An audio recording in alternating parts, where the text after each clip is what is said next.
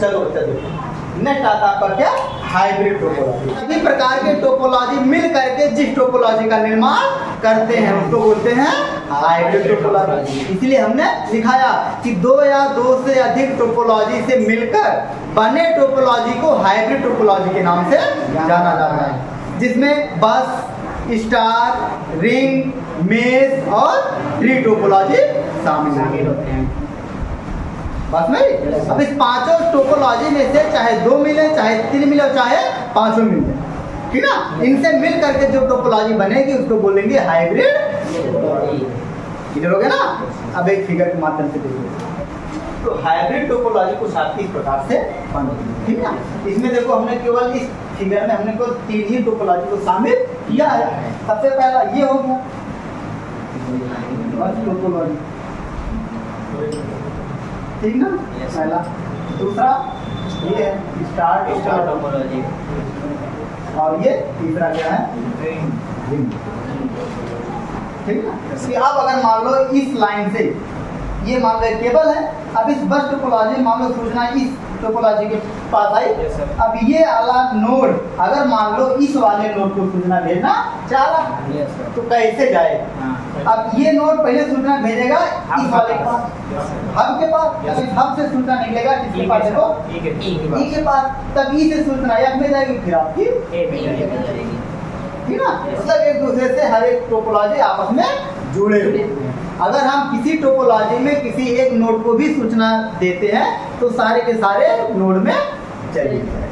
Hybrid topology का इस्तेमाल बड़े बड़े जगहों पर होता है जैसे कोई कॉलेज वगैरह। है ना? कोई कंपनी हो फैक्ट्री हो जहाँ पर ढेर सारे पीसी जो है लगे हों। तो वहाँ पर फिर हाइब्रिड टोपोलॉजी का इस्तेमाल करके हर एक पीसी को आपस में जोड़ दिया जाता है। बात समझ ना? इसके लाभ लिख लो।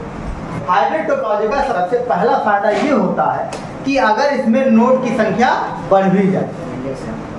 ठीक ना? तब भी जो है डाटा की जो इसकी स्पीड होगी काफ़ी तेज होगी। फिर क्या आगे है। हाँ इस टोपोलॉजी का इस्तेमाल बड़े नेटवर्क के निर्माण के लिए होता है। बड़े नेटवर्क का मतलब बड़े काम के लिए। है ना? किसी कॉलेज में ऑफ़िस में, है ना?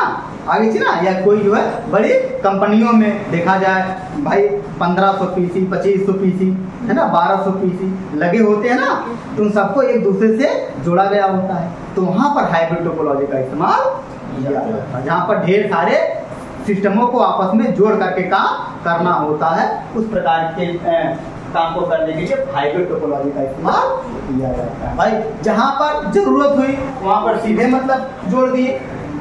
जहाँ पर मतलब जो है जो है ज़रूरत हुई वहाँ पर गोल में मतलब जोड़ दिए। और अगर कहीं पर मान लो ज़रूरत हो कि हर एक नोड एक दूसरे को प्राइवेट मैसेज भेज सके तो वहाँ पर फिर मतलब जो है मेल टोपोलॉजी का इस्तेमाल कर देंगे। समझना इस बात? ठीक ना? तो कहने मतलब कि जहाँ जैसी आवश्यकता पड़ती है वैसे टोपोलॉजी के मतलब निर्माण से सिस्टम को आपस में जोड़ दिया जाता है। फिर क्या है? इसमें डाटा ट्रांसफ़र की गति काफ़ी तेज तेज होती है। जो भी हमने आपसे फिर क्या आगे?